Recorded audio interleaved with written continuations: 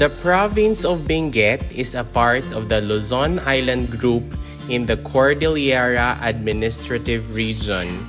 It is composed of one highly urbanized city, and that's the city of Baguio.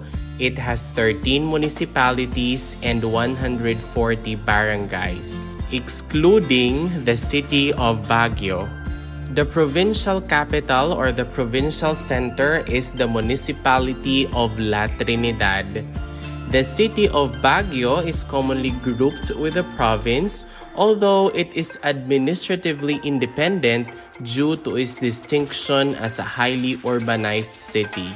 The following are the different municipalities comprising the province of Benguet. We have the municipality of Atok, which is composed of 8 barangays, the municipality of Bakun, which is composed of 7 barangays, the municipality of Bokod, which is composed of 10 barangays, the municipality of Buguias, which is composed of 14 barangays, the municipality of Itogon, which is composed of 9 barangays, the municipality of Kabayan, which is composed of 13 barangays, the municipality of Kapangan, which is composed of 15 barangays, the municipality of Kibungan, which is composed of 7 barangays, the municipality of La Trinidad, which is also the provincial center or the provincial capital, is composed of 16 barangays, the municipality of Mankayan, which is composed of 12 barangays,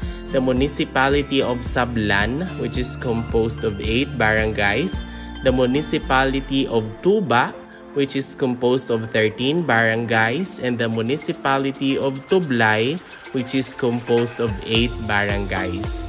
Once again, for the province of Benguet, there are 13 municipalities and 140 barangays excluding the highly urbanized city of Baguio. Let us once again recall the 13 municipalities. We have the municipality of Atok, municipality of Bakun, municipality of Bokod, municipality of Buguias, municipality of Itogon, municipality of Kabayan, municipality of Kapangan, Municipality of Kibungan, Municipality of La Trinidad, Municipality of Mankayan, Municipality of Sablan, Municipality of Tuba, and the Municipality of Tublay.